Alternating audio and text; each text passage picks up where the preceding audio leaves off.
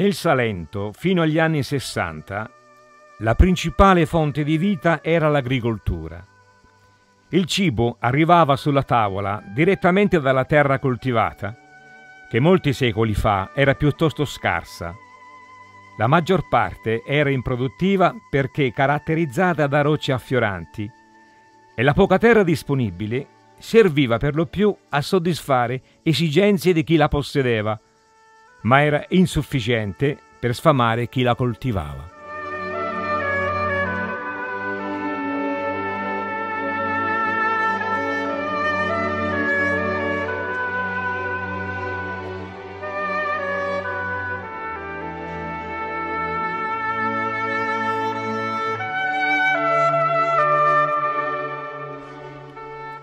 Era impossibile affondare la zappa in quei ritagli di terra, racchiusi tra numerosi speroni di pietra. Quanto più la famiglia del contadino aumentava, tanto più cresceva la fame di terra. C'era un solo modo per debellare quella fame. Cavare la roccia per liberare quanta più terra possibile da coltivare. Fu così che in quest'angolo di Salento si è svolto per millenni un pacifico duello tra l'uomo e la natura. Da una parte l'uomo, armato di braccia, dall'altra i banchi rocciosi da demolire.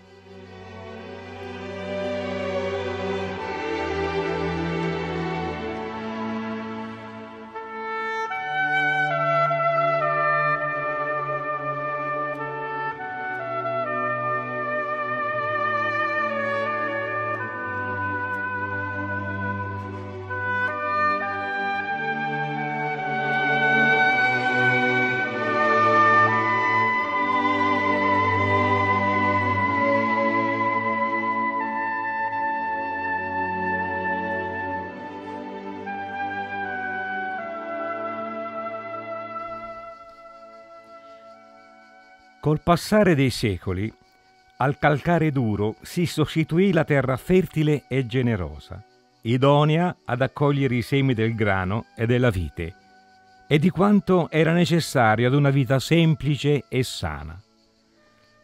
La cosa più straordinaria, tuttavia, non fu la capacità di rimuovere l'ostacolo, ma la sua trasformazione in risorsa. Quelle rocce, una volta sradicate, frantumate e trasformate in pietre, divennero l'unica materia disponibile per realizzare case, selciati di strade, muri di confine e altre costruzioni utili all'uomo. Quasi tutti i terreni aridi e improduttivi si trasformarono così in giardini, ravvivati dal rosso della terra, dal verde dell'olivo e dal bianco dei tanti merletti di pietra. La primordiale bellezza del creato, quindi, non fu sconvolta, ma ingentilita ed ampliata.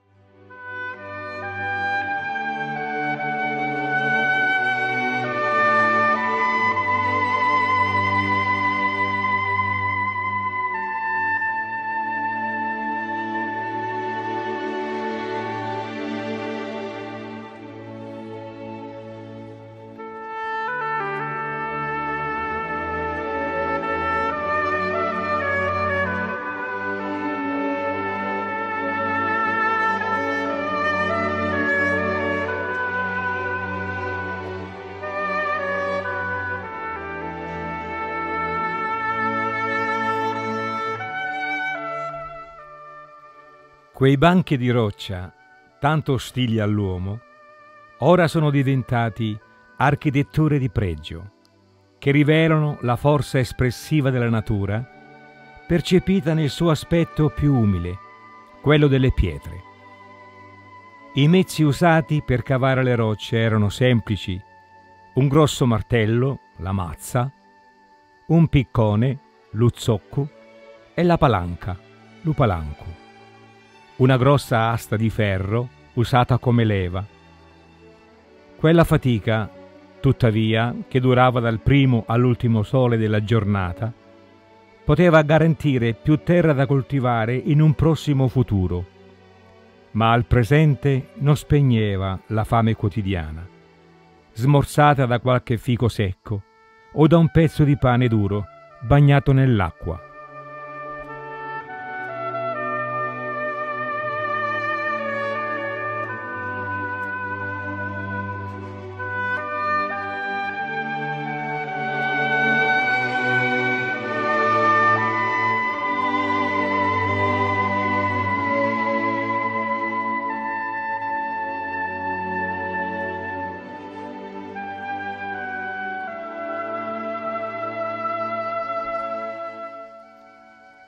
Volte il contadino spietrava il proprio podere alla domenica o dopo aver zappato dall'alba al tramonto la terra del padrone.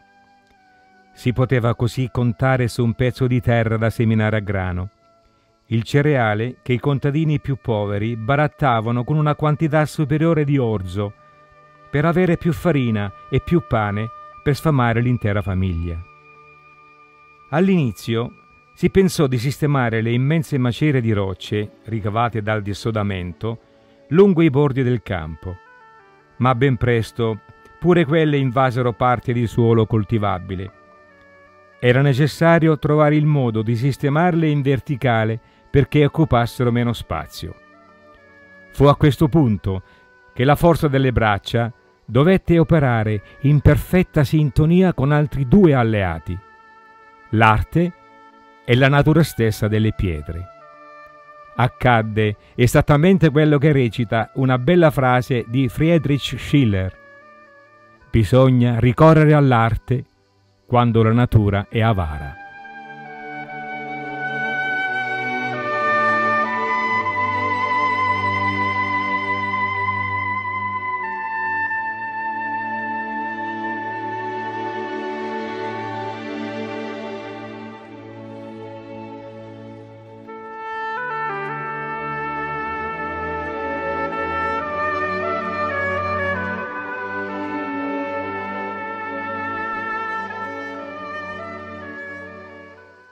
Quella stessa natura, che da principio si rivelò ostile, contribuì non poco a creare, con l'aiuto dell'uomo, qualcosa di unico e meraviglioso. Qualsiasi pietra, dalla più piccola alla più grande, venne posata ad una ad una, l'una sull'altra con estrema precisione, in modo da occupare meno terra e recuperare il più possibile il materiale da costruzione. Fu un vero miracolo. Lo scarto fu trasformato in risorsa. Nacque così un meraviglioso, unico ed irripetibile paesaggio di pietre, una sorta di gigantesca opera d'arte. Si sviluppò così l'arte del paritaro e del truddaru, la prima per costruire i muri a secco, con la funzione di delimitare i campi coltivati, la seconda per costruire ricoveri temporanei a forma di trullo, pagliare, casedde, furneddi, destinati ad accogliere la famiglia del contadino durante la raccolta estiva dei legumi, fichi e pomodori, che si essiccavano al sole e si consumavano durante l'inverno.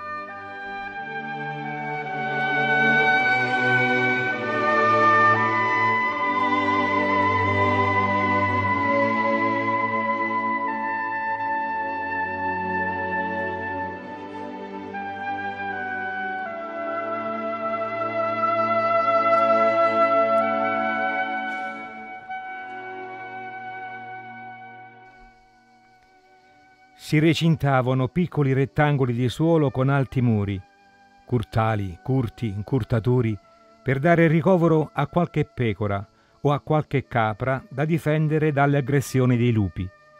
Si sollevavano piani di appoggio, spase e littere, di forma rettangolare o circolare, per essiccare i fichi al sole. Si costruivano forni, forneddi, per cuocere i prodotti della terra e preparare le provviste invernali.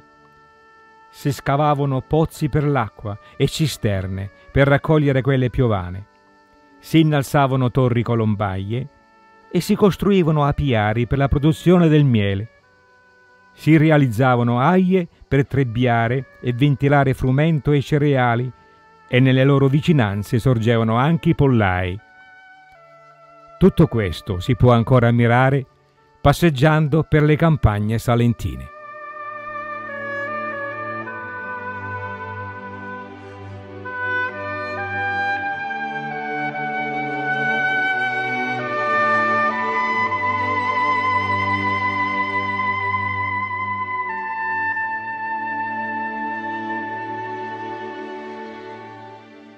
Per quanto riguarda le peculiarità dei muri a secco, vale la pena riportare quanto aveva scritto Luigi Ponzi, profondo conoscitore del capo di Leuca. Muri vecchi ricingono tenute e poderi appartenuti a casale di gran nome. Sono i muri gentilizi. Sono nati dalla mano dei migliori artefici del luogo, senza risparmio di materiale né di tempo, eretti con maestria di artista, dalle pietre tutte uguali, sfacettate alla stessa maniera, disposte in fila le une sulle altre, in righe sovrapposte, diritte e uguali, collocate con un senso architettonico tutto particolare. Poggiano su fondamenta adeguate all'altezza e terminano in alto con i cappelli, pietre più grosse, scelte alla bisogna, ben squadrate, situate alla sommità del muro, in una riga orizzontale a completamento dell'opera. In basso, a livello terra, sono attraversati da feritoie dette chiaviche, distanti fra loro lunghezze variabili, che permettono il passaggio dell'acqua piovana perché questa nel suo flusso non arrechi danno al muro.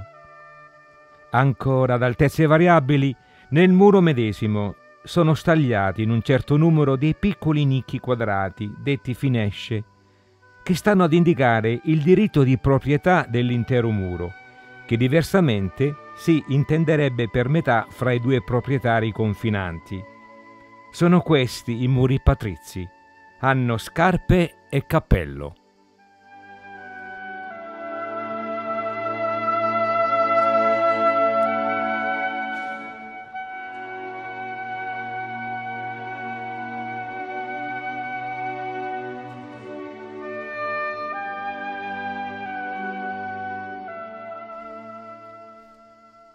Poi i muri plebei, tirati su dallo stesso contadino che, più accorto e più capace, aveva rubato un po' di quell'arte allo specialista, quando ragazzo trasportava a spalla la pietra adatta alla parte esterna della costruzione, o quella minuta per il riempimento del muro. Muri plebei dunque, e per questo rappresentanti più numerosi di queste costruzioni erette per la necessità di liberare il campo dal pietrame, senza intenzione o pretesa di fare opera d'arte.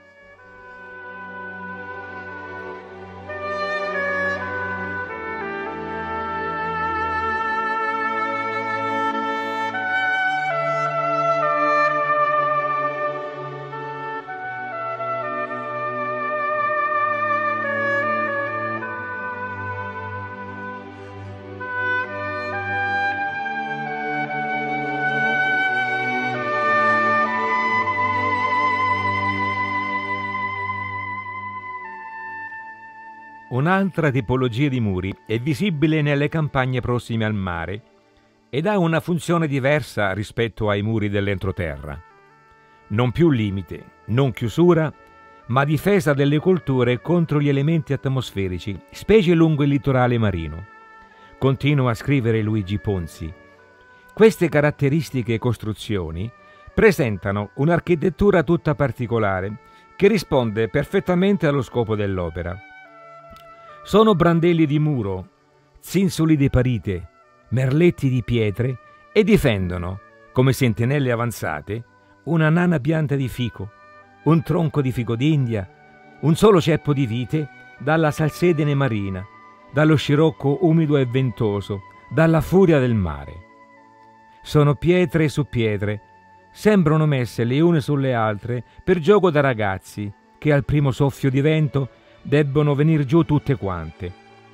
Da secoli sfidano lo scirocco impetuoso, ricco di salsedine, che spinge i flutti del mare ad infrangersi con furia impetuosa sulle scogliere, che conobbero la nave di Enea.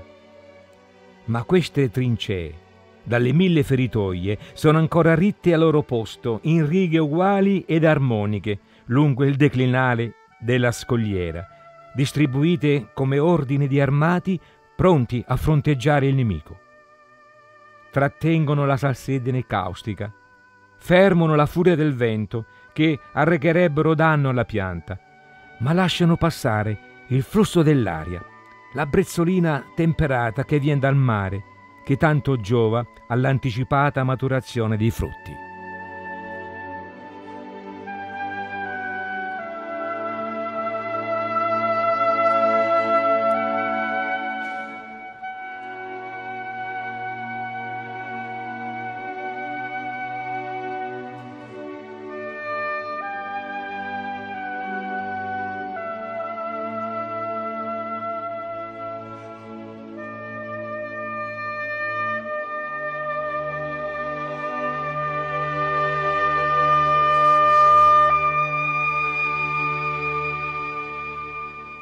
Terminata la costruzione del muro, le pietre residue venivano addossate, come rinforzo, alle pareti di altre costruzioni già fatte, oppure usate per sopraelevare piani di appoggio circolari intorno a qualche tronco di ulivo, o anche ammucchiate a mo' di piccole specchie.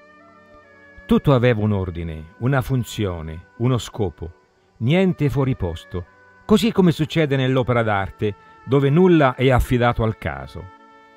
Le parole ecologia e inquinamento non esistevano in quel mondo di estrema miseria.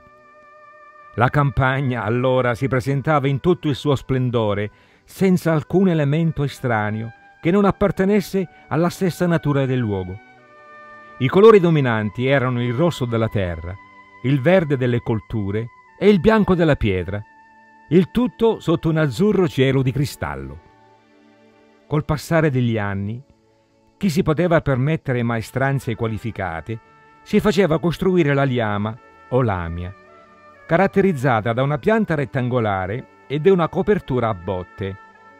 Oltre alle pietre, per la sua costruzione erano necessari una centina di legno e i conci di tufo per la volta a botte.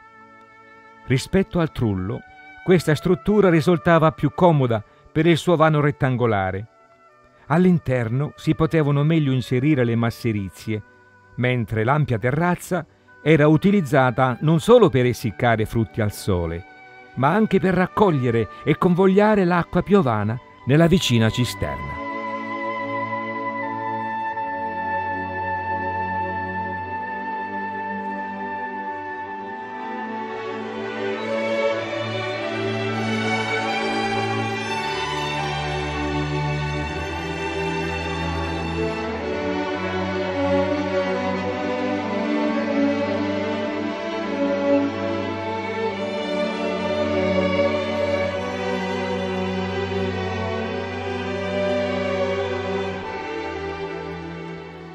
L'architettura contadina, oltre ad avere una funzione pratica, ha una funzione estetico-espressiva, alla pari di un'opera d'arte. Le pareti dei muri patrizi, con le pietre allineate orizzontalmente, esprimono ordine, stabilità ed eleganza. Quelle dei muri plebei, invece, con le pietre disposte in modo spontaneo e libero, danno l'idea di un disordine perfettamente controllato. Le pietre, tuttavia, sia che affiorino dal terreno o che siano state utilizzate nelle diverse costruzioni, sono sempre per se stesse fonte di bellezza. Nel primo caso, offrono lo spettacolo della natura appena creata, quindi primitiva e inalterata. Nell'altro, rivelano il loro fascino attraverso la loro differente grandezza, le diverse sfumature di colore, la luce che trattengono e riflettono in una danza continua di luce e ombra, il variare della loro tessitura. Di tutto questo il contadino paritaro era inconsapevole. La capanna di pietra era per lui l'oggetto dei suoi bisogni, non il soggetto di un'architettura, tantomeno di un'opera d'arte. Quelle costruzioni, di fatti, obbedivano ad un bisogno di sopravvivenza e sono state elevate così come si coltiva una qualsiasi pianta o albero da frutto. La bellezza nasceva spontaneamente dalla stessa materia naturale di cui era fatta l'opera, senza che l'uomo la ricercasse. È frutto di un processo creativo naturale, quindi trascendente, dove il contadino è più attore che autore, più creatura che creatore. La sua bravura consiste nell'aver obbedito a quello che la stessa natura lo spingeva a fare, Così come da un seme di grano altro non può nascere che una spiga, allo stesso modo da un mucchio di pietre altro non poteva sorgere che una capanna a forma di trullo. Con questo non si vuole sminuire la bravura del contadino, ma considerare la sua opera all'interno di un progetto che la stessa natura già conteneva.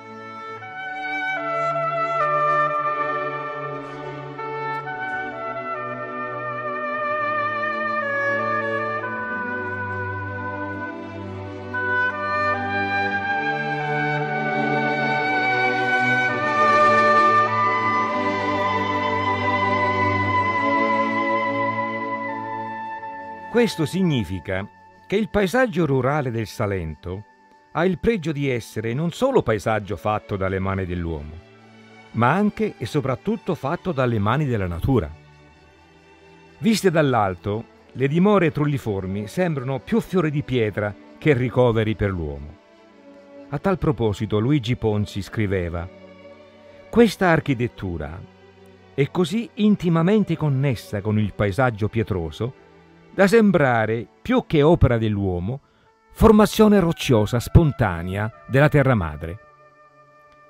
Se vogliamo essere coerenti con la dottrina dei credenti, alla quale noi sentiamo di appartenere, tutto ciò che di buono l'uomo ha fatto, l'ha fatto perché, a differenza di tutto quello che lo circondava, lui è stato creato a sua immagine e somiglianza.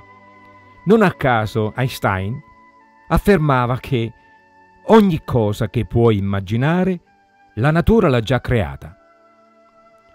Capiremo meglio queste affermazioni se analizziamo, passo dopo passo, il modo con cui il contadino è arrivato a dare forma mettendo in ordine le sue pietre. Per costruire un muro, ad esempio, senza ricorrere all'uso di malta, c'era, c'è e ci sarà solo un modo di procedere, innalzare due pareti leggermente inclinate verso l'interno e riempirle di pietrame più piccolo man mano che si innalzano fino all'altezza desiderata. Tale tecnica è stata ricercata e trovata dal contadino Paritaro, allo stesso modo con cui ha ricercato e trovato quella per coltivare il grano, la vite, l'ulivo e tutto quello per cui era predisposta la stessa natura.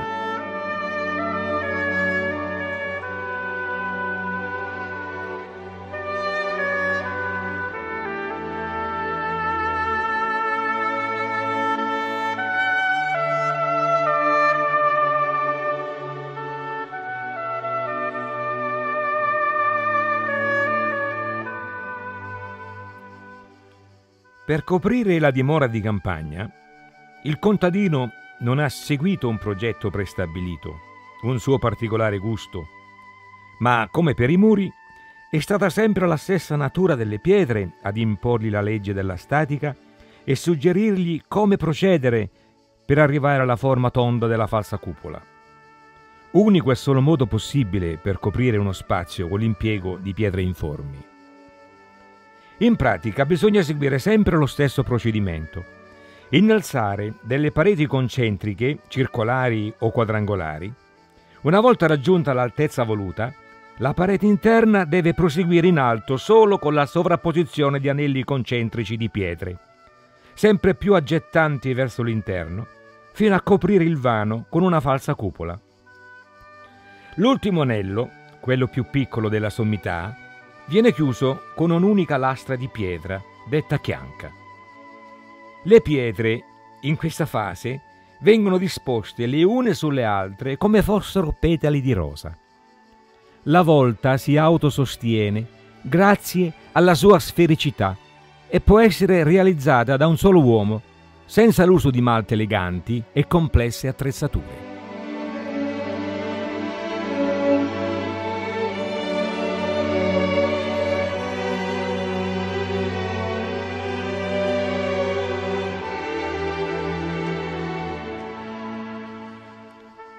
Ma facciamo ancora un altro passo per confermare le nostre considerazioni. Quando l'uomo si è cimentato per la prima volta con queste costruzioni, forse intorno al 3500 a.C., non aveva predisposto alcun disegno da seguire, come è avvenuto per tante altre storiche architetture. Forse ha dato inizio alla sua opera raggirandosi la pietra tra le mani, valutandone il peso, osservandola come per farsi dire come posarla con le altre, in modo che restasse lì per sempre senza cadere. Attraverso tentativi e prove durati chissà quanto tempo, riuscì a trovare quell'unica tecnica possibile che le stesse pietre custodivano nella materia stessa. Praticata in epoche differenti e da popolazioni mai state in contatto tra loro, quella tecnica si è perpetuata nei secoli, dando vita sempre alle stesse forme.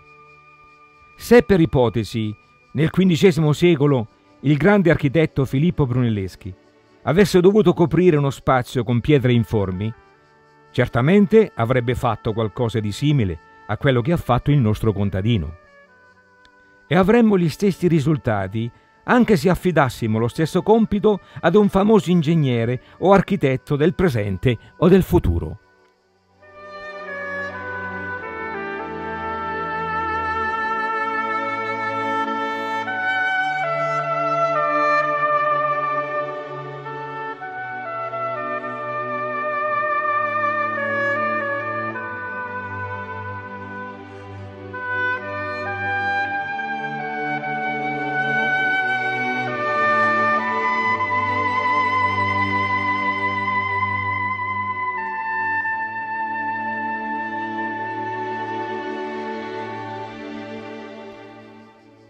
Quando l'uomo ha iniziato a costruire con l'uso della pietra squadrata, quindi col mattone, col cemento e tanti altri materiali, si è potuto esprimere secondo il suo gusto, il suo genio, la sua creatività. Solo allora l'architettura ha iniziato ad avere uno stile che è cambiato continuamente a seconda dell'epoca, del luogo e della civiltà in cui è sorto. Le architetture in pietra, invece, sono sempre le stesse, a prescindere dal periodo storico in cui sono apparse, come accade per il Sole, la Luna e le stelle. Il loro stile è quello della pietra naturale. È per questo che il paesaggio delle pietre è straordinario, perché è vicino, come gli astri celesti, al mistero della creazione.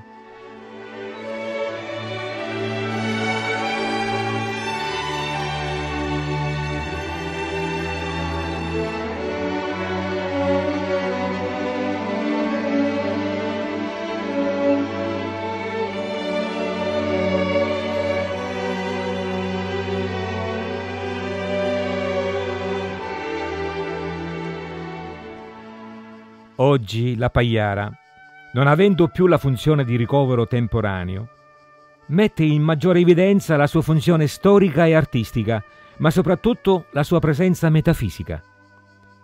Ma la nostra percezione non è mai andata al di là di tutto quello che può produrre immediato guadagno e profitto.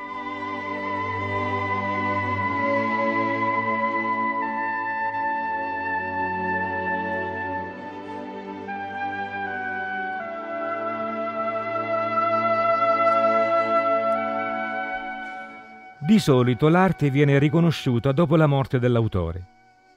Ma l'arte delle pietre, ahimè, sta scomparendo nella totale indifferenza dell'uomo contemporaneo. Nonostante che molte persone di cultura si siano adoperate in tanti modi per suscitare l'interesse per queste pietre, l'attenzione e la cura è stata rivolta unicamente agli ambiti urbani, chiese, castelli, palazzi, piazze, poco o nulla si è fatto per salvaguardare il paesaggio della terra e della campagna.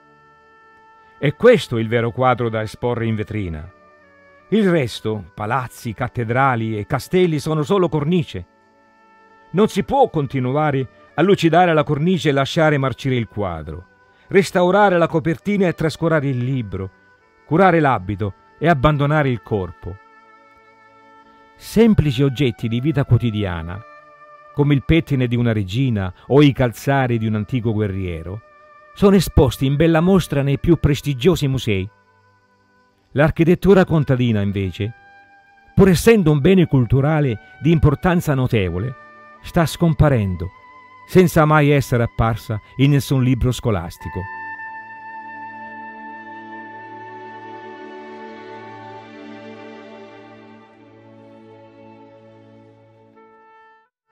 Il cittadino sa che il suo paesaggio rurale è importante perché il cartello vendesi terreno con pagliara trova sempre un acquirente. Ma ancora non ha la piena consapevolezza dei valori di questa terra e di tutti i suoi segni che la rendono bella e unica al mondo. È proprio su questi valori e non solo sul richiamo del mare che si può fondare un'economia della bellezza duratura e sostenibile passeggiando per le campagne del Salento, può succedere di incontrare muri e pagliare diroccati per l'incuria dell'uomo contemporaneo.